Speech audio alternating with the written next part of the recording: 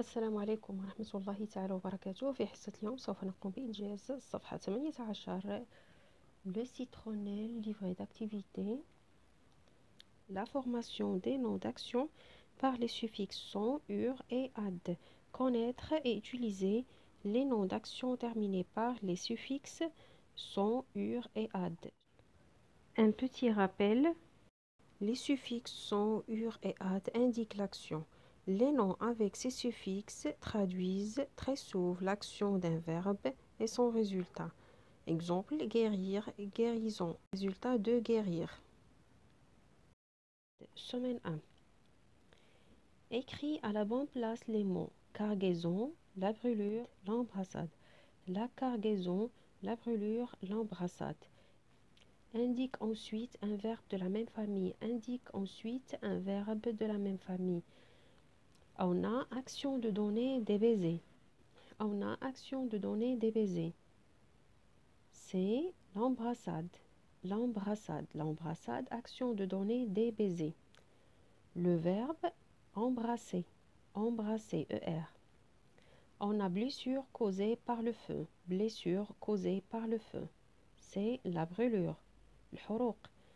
Le verbe c'est brûler. La brûlure, le verbe c'est brûler.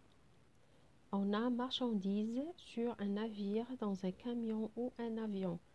C'est la cargaison. La cargaison marchandise sur un navire, dans un camion ou un avion. Le verbe c'est charger. 2. Complète ces familles de mots avec un nom dont le suffixe est indiqué entre parenthèses. Complète ces familles de mots avec un nom dont le suffixe est indiqué entre parenthèses. Comparer, comparateur, avec son, comparaison. Comparaison. Pendre, pendu, pendaison. On utilise son. Pourrir, pourrissement, ur. Pourrir, pourrissement, pourriture. Pourrir, pourrissement, pourriture. Lire, lecteur. Ur, lecture.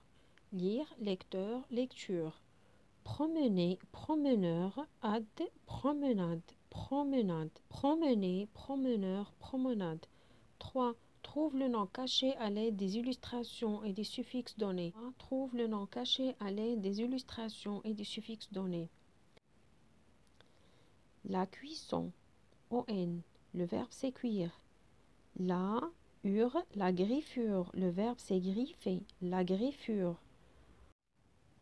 La ad, la baignade, le verbe c'est baigner, le verbe c'est baigner.